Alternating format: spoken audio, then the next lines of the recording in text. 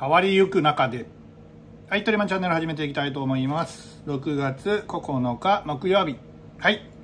えー、10日からですねインバウンドが、えー、再びね解禁になるということで、えー、まあインバウンドがね一番ピークだった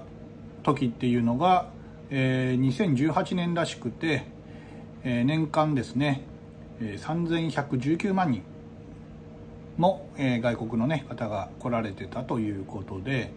まあねどこに行っても中国人とかね、えーまあ、アジア系の方が多かったですね。どこの観光地行っても、えー、外人がいらっしゃるというようなね状況でしたよね。で唐戸においてもですね、えー、唐戸市場からカモンワーフ、え、海峡館水族館の方ぐるっとねどこ行っても、えー、日本人よりね、えー、中国人の方が多いというね、えー、状況下でした。で、えー、ね、一番多い2018年で、えー、どれぐらいのね、あのー、まあ、利回りじゃないけどね、えー、どれぐらいあったのかっていう数字をね、えー、見たところ、GDP 比でですね、えー、約1.4%、1.4%でしたと。えー、4, 4兆8000、4兆、4.8兆円か。えー、らしいですという感じで、まあ、これがね、えー、多いか少ないかって言われたらねあしょぼっていう GDP 比の約1%ですからねあ大したことないんだってねいうふうに、まあ、数字だけ見たらね思っちゃいますけれどもただ、えーまあ、田舎のね観光地とかで言うとですねもともとなかった需要が、えー、ポンとね、えー、プラスアルファで乗っかってくるわけなので、まあね、えー、ありがたい数字なんでしょうけれども、まあ、インバウンドはね、なかったこの2年間をね、えー、振り返ってみますとね、まあ、唐戸市場に関して、唐戸市場だけ、まあ、唐戸全体で言うと話は違いますけど、唐戸市場だけで見ると、今までね、インバウンドの時は中国人というか外国人さんがもう8割7割ぐらいね、占めてたパッと見ですね。ああもう外人さんばっかりやなという感じだったのが今はもうほぼ100%日本人で、えー、そのねピークの一番最盛期というかねコロナ以前のにぎわいに戻りかけているという状況ですからあ日本人需要だけでそのねインバウンド需要を唐戸市場だけで見ると賄ってるなっていうのをね思うんですよね。だから国内需要で回すのか海外需要ねプラスアルファあというかまあそのインバウンドインバウンドでバーンとそちらに切りすぎると、えー、まあ京都みたいになってねもう日本人が寄りつかない街になっちゃうみたいなね住んでる方々がもうね嫌気をさしちゃうよみたいなねなんか本末転倒のね、えー、また地価が上がって、えー、その場所にね住めない街になっちゃうというようなね、えー、感じになっちゃいますので。どっちがいいのかなっていうのはね正直分かんないですね、まあ、その、えー、ポジションによってね全然意見が違うでしょうしね、うん。まあ、旅館とかホテルの方だったらね、えー、やっぱりインバウンドがあった方がいいよってね思うでしょうし、うん、普通に、まあ、観光地のね街に住んでる人だったらあんまりわーっと来られてもえー、まあ、いろんなね弊害もあるし嫌だなって思う人もいるでしょうしね、まあ、そのねポジションによって、まあ、いろんなねえ、見方があると思いますけれども、まあ、とりあえずね10日から始まりますよということなので、まあ、まだねあのそんなにドワーッとピーク時みたいにね、えー、わーっと来るわけじゃないので、えー、まあ来てもねあ1組2組ぐらいねあ街中で外人さん歩いてるなみたいな感覚じゃないかなと思って、えー、特にまだ何も準備はしておりませんっていう感じですね、まあ、来られたら、えー、ね Japanese Japanese English 英検4級で対応していきたいと思います、まあ、バイトのね、えー、つっちゃんがいる時は英語がペラペラなので、えー、ね、通訳を頼もうと思います、まあ、あとはね、まあ、ボディーランゲージと単語で、えー、なんとかなりますので、えまあ、それぐらいですかね。はい。まあ円安なんでね、まあ、134円。で、ね、原油が120ドル。超えてますからね。また物価が上がるなっていう感じなんですけどね。まあね、えー、まあいろいろね、え流れ流れ流れていきますから流れゆく世界の中でね、まあ、どうアジャストしていくかっていう感じなんでね、まあ、今まで通りにはまあ戻らないしねならないわけなので、まあ、その都度その都度ね、まあ、いいようにするしかないなという感じですね。その10年後5年後を見据えてね計画を立てるとかいうのはねもうナンセンスだなと思いますしね。もう明日またガラッと変わるかもしれませんからね。一日一日あなんか違うなと思ったら、えー、それに対応するっていうぐらいのねなんか瞬発力が、えー、必要になってくるね世界になってくるのかなと思いました。はい。まあインバウンドはね、えー、まあ様子見っていう感じですね。はい。で今日ですね、えー、今日は、えー、まあ、お弁当ね、えー、完売できまして夜がですね危なかったですね。もう実質ほぼ坊主みたいな感じですね、えー、中盤、えー、トヨラね大先輩64期ね、えー、78歳っておっしゃってたかな、うん、の、えー、おじいちゃん先輩が、えー、孤軍奮闘ね、えー、トイマンカウンターを死守してくださってあもうそれで終わりって感じだったんですけど、まあ、後半ねえー、外ねあのカラトドームの上になんか、えー、テレビモニターがなんかついたみたいで、まあ、そのね関係者の方が、えー、ご来店くださってですね、えー、トータル4人で終了ということでまあなかなかね、あの心身ともにね疲れる一日でしたということでねまあ唐戸の街もなんかいろいろね変化が起きてるんだなっていうね感じです。はい。まあねまあ、どうなるかわからないですけれどね、まあ、世界情勢だけ見たらですねもう、えー、あ日本積んでるなとしか思わないんです。思えないんですけれどもね、まあ、積んでてもね生きていかなくちゃいけないので、まあ、その都度ね、えーまあ、なんとかあがいてね生きていくという感じですかね。はい。まあそのね、えー、原材料費が上がってるから本来であれば前年のね売り上げまあなんだったらコロナ以前の売り上げを超えていかないと、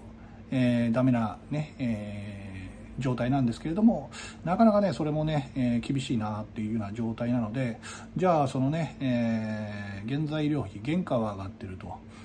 で、えーまあ、売り上げはね足らないと。まあじゃあねそれに合わせて生きていくしかないなという感じなんでね。今んとこね、えー、どうこうやってね急激に何かが変わるというね、えー、感じでもないのでまあ、えー、まあまあその時のね、えー、多少マシにマシにななるとも限らないですけどね。まあ暇な時にね、まあ、なんか、えー、新しいことをねまあいろいろ、まあ、試しながらねやっていこうかなっていうぐらいのね感じでせかせかせかしかせかせかせかせかせかねカリカリカリカリしてもね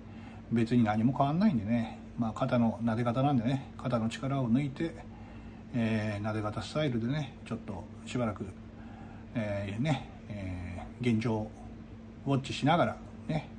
生きていこうかなと思う今日この頃です。うわーとね気合と根性だがねもうちょっと通じない感じになってるのでまあそれは今までの2年間でね、えー、やってきたんですけれどももうこれが通用しないねあのステージになったっぽいので、えー、じゃあ今度どうするっていう感じでね、えー、それに合わせて生きていかないとねまあ生きていかないといけませんからね。まあそれに今後ねどう対応していくかっていう感じでございます。で暇やったんでね今日もあんま撮る予定なかったんですけどねまあ質問 TikTok のコメント欄でね質問来てたんで、まあ、それに合わせたね動画を1本撮ったら、えー、1万再生ね、えー、回りましたよということでねなで方動画強いですねずっとさここ最近あのちょっとねあの不本意なというかああんまり納得してないねあのリュック背負って走る動画以外は全部1万超えてるのでああなで型数字持ってんなとね改めてね思った次第でございます。まあね、えー、まあ、そっちをちょっとね極めてじゃあそれで数字が上がったからどうなのってね、まあ、よく言われるんですけれどもいや別に何もねえよっていうだけなんですけれども、えー、まあ今ねアメリカでその収益化実験もやってますし、えー、まあね、えー、今一番 SNS で、まあ一番ね、流れがあるのが TikTok なんで、まあ今、ね、そのアカウント強くしとけばですね、何かあった時に、まあ発信力っていうね、えー、あれは手に入りますので、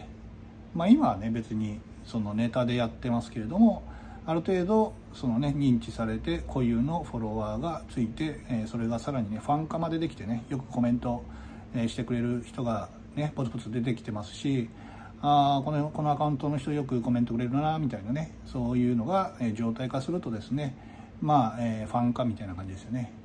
えで毎日、えチェックみたいなね、えしてくれる方が増えるとですねまたそれがね、え、できれば下関、まあ、こんな近隣の、ね、方だとより嬉しいんですけれどもね、まあ、そうじゃなくても、え、まあ、全国のね、えー、ま全国または全世界でもいいですけれども、まあそういうねどっかでまた何かがねつながりますから、えしかもネットの世界だとですねどこがどうねつな、がってこのイノベーションじゃないですけどね、え化学反応じゃないですけどねえー、起きるか分かんないのでねでこっちはまあ発信するだけなんですけれども反応っていうのはね見てる方の反応とか取りようによって全く違いますしまあそれはねブログを、2007年からねずっと誰にも読まれてない時からね毎日ずっと、えー、書き続けてきたね、まあ、経験からも、えー、思うことなんですけれどもね、えー、やってればね何かまた起こるという感じですね。でただ数字が取れてなかったらね話にならないんですけど常備、えー、常時、えー、1万再生は回っているので、えー、最低ねそれだけの人の反応はあるということなので、まあ、それがね、えー、ここ最近ちょっとまたその投稿頻度も上げてますから、まあ、これがね、えー、コンスタントに回っていくとですねえー、ともうすぐね、えー、いいねの数でいうと40いいね40万いいねになりますので、まあ、これがどれぐらいの数字かっていうと、まあ、一般的な有名な芸能人でも出す出せてない方が結構多い数字だと思いますので、えー、まあ、そのね、えー、それぐらいのアカウントになってきているということなのでフォロワー数はねなかなか伸びないんですけれども、まあ、別にそのね、えー、可愛い子でもなくおっぱいねでアピってる子でもなくで有名人というわけでもないわけなのでなかなかね、えー、フォロワー数を増やすのは難しいですけれども無理やりフロ、ねえー、増やしたフォロワーっていうのはあんまり意味ないので、まあ、別にフォロワー数はね気にせずそのいいね数と再生数でちょっとねあのー、まあその反応を見ながら今やってる最中ですと。いう感じですね。でまあいろいろね、あの、今から TikTok のアカウントを使っていろんなね、え、形ができる気がしますので、まあ、とりあえずはね、まあ、ドラクエやる感覚でですねちょっとずつレベルアップしてっていうねあの作業芸結構好きみたいでねシミュレーションゲームも好きやしえー、っとねポケモン GO とかもね極めに極めてましたけどね一時期関門地域ね最速、えー、ね、えー、ポケモンマスターになった男でもありますのでそういう作業芸結構ねあのコツコツできるタイプみたいなのでまあこういうねあの TikTok のショートも、えーまあ、YouTube ショートもそうですけどね。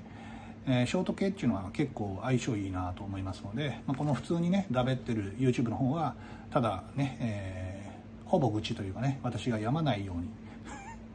ね全て、えー、吐け出してるとか吐き出してるとね、えー、何もね、えー、包み隠さずね吐き出してますので、まあ、そういうね、えー、風なのを、まあ、見たい人はこっちと。でまあそのね笑いたい人は、えー、TikTok とか YouTube ショーツショートの方に、えー、まあその日本柱でね言っとけば、まあ、なんかまたいろんなね、えー、反応等あるんじゃないかなと思いましたという感じですね。であともう一点ね、えー、今日ねあの求人情報誌の営業の方からね、えー、お電話いただきましてでまあ別に今年はね、えー、求人の予定はないのでまた来年お願いしますというねえ、応対をしたんですけれども、ねあの、ちょうどよかったんで、え、今の、ね、現状を聞いとこうと思いましてね聞きましたところ、えー、山口県というかね下関の居酒屋系だとねまだ、えー、1000円超えたらいい方だということでね、まあ、900円台とかで募集してるところもあるみたいなんであうちはまだもうちょっとね上行ってんのかなと思ってたらまだ全然うちの方が高かったんであなかなか上がってこんなと思ってですねうん、やっぱ下関はまだまだその人手不足っていう感じにもなってないのかな、まあ、居酒屋にね、えー、限って言えば全然受給で言えばですねまだまだ、えー、求人っていうのはね少ないのかなっていう感じですね。まあ取らないですよね。もうできる範囲内で回すしかないですよね。今日常これだけ、え平日が暇な日がね続いておりますので、まあ、何やったらね一日休んで連休作ってもいいかなって思う感じでもありますよね。ちょっと落ち着くまでね。まあ、それぐらいちょっとあの健康にね 過ごしとった方が、えー、まあ経営者だったらね売り上げ悪くてあ支払い大変だってなるとね病むしあの体もね胃がキリキリしてね、えー、病んじゃいますので、まあ、それをね防止する、まあ、どうやってもね世界的なあの世界恐慌ですからねダメなもんはダメなんで、まあ、その中でね、えー、ちょっとでも、えー、うまいこと生きていくっていうのをね考えないといけないんで。えー、売り上げはないわね、えー、で休みはないわねでそして病んでね倒れるってなったらね目も当てられませんからねまあなんかいろんなねパターンが、まあ、試せるっちゃ試せるかなと思いながらね、えー、売上と、えー、売上チャートじゃないですけどね売上の流れと、えー、それを見ながらね、えー、いろいろ考えてる最中でございます。本当にねあの合心昇胆、えー、ライフを、え今ね、え継続しておりますけれどもあまあまあまあ山にはねどうとでもなるなと思いますので、まあ、ぼちぼちね、えー、まあ、ちょうどねありがたいことにね TikTok の方はバズっておりますし、えー、また他のね、えー、リアルの方でも、まあ、いろんなねまだまだ、え手の打ち方はいろいろありますので、まあ、そんなのをねちょっとずつ、え試しながらね暇ですからね今、うん、その実験しながらまあぼちぼちやっていこうと思っております。はい。そんな感じででねあの、今日のね、え、TikTok の方えー、YouTube のショートに上げたら、まあ、こちらの方もねありがたいことに、えー、プチ、まあ、1000ちょっとぐらいもあったかな。でフォロワー数もね、えー、一時345までいって1個減って今44ですけどね、マックス、初めてね、マックス345までいったのでね、ああ、霧のいい350まであともうちょいやなと思いながらですね、えー、まあ、そういう楽しみもね、まあ、ドラクエレベル上げ好きなんで、まあ、そういうコツコツなんか目に見えてねこう成果が出る系が結構ね、えー、好きなので、まあ、それでねやっていきたいと思います。まあリアルのね、えー、実店舗はねそんなコツコツやってもせ、ねえ成果が出るわけではないのでね、えまあ、ある意味現実逃避っちゃ逃避やけど、まあ、そういうのでね、まあ、気晴らしにもいいし、まあ、そこでまたね、えー、アカウントが強くなったらまたね、えー、いろんな、ねえー、発展もありますので、まあ、ぼちぼちやっていこうと思いますという感じです。はい、終わります。